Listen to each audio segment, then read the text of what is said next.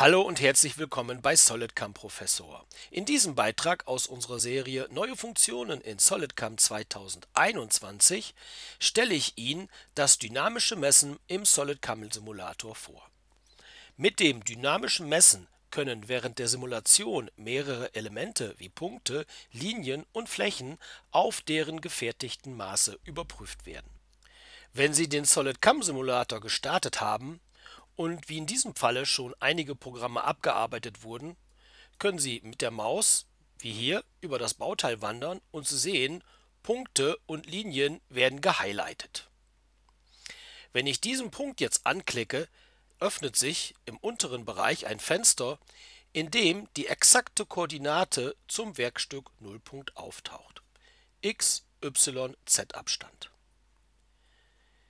Ich kann das Ganze auch kopieren und zum Beispiel in ein Dokument so sehr einfach einfügen. Auch die Längen von Körperkanten können sehr einfach gemessen werden. Wenn ich zum Beispiel mit meiner Maus diese Linie nun anklicke, wird mir die exakte Linienlänge hier unten angezeigt. Das gleiche kann ich mit dieser Linie machen und mir wird auch diese Länge angezeigt.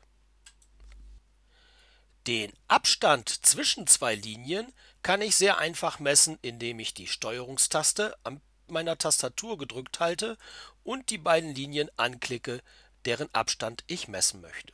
Und dann wird mir im unteren rechten Bereich auch hier der Abstand angezeigt. Auch Abstände zwischen Punkten können so sehr einfach dynamisch gemessen werden.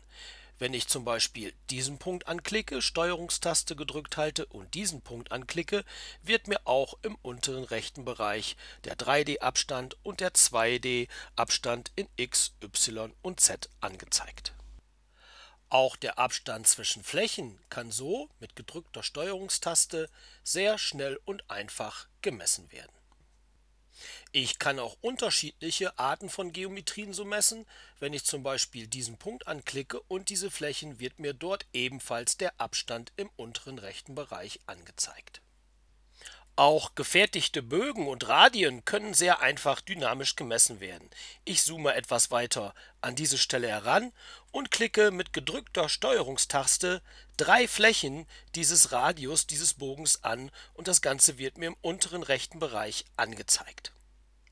Mit einer Modifikation in der Simulation kann ich mir die Flächen etwas genauer anzeigen lassen, indem Sie zum Beispiel den Konfigurationseditor starten und in der Simulation Standard unter Volumenkörper Anzeige Anstellungen in das Rohmaterial reingehen und die geglättete Schattierung hier deaktivieren. Wenn Sie das Ganze mit OK bestätigen, sehen Sie, dass die Flächen wesentlich besser angezeigt werden und das Anklicken dieser Flächen auch ein wenig einfacher gestaltet. Auch Abstände zwischen Bögenlinien unter unterschiedlichen Bögen können so gemessen werden. Wenn ich zum Beispiel in diesen Bogen reinklicke, diese drei Flächen und diese Körperkante hier oben auch anwähle, wird mir die Länge angezeigt und der minimale und maximale Ab Abstand zwischen der Linie und den Bögen. Im unteren rechten Bereich klicke ich einmal diese drei Flächen dieses Radius dieses Bogens an und dann noch diese drei Flächen dieses Radius. Auch hier wird mir der exakte Mittelpunktsabstand und der minimale und maximale Abstand zwischen diesen Bögen angezeigt. Den Winkel zwischen zwei Flächen kann ich ebenso sehr einfach messen, indem ich zum Beispiel diese Fläche anklicke mit der Steuerung gedrückt halten und diese Fläche wird mir auch hier unten der Winkel angezeigt. Dynamisches Highlighten und Messen können Sie auf zwei Arten deaktivieren.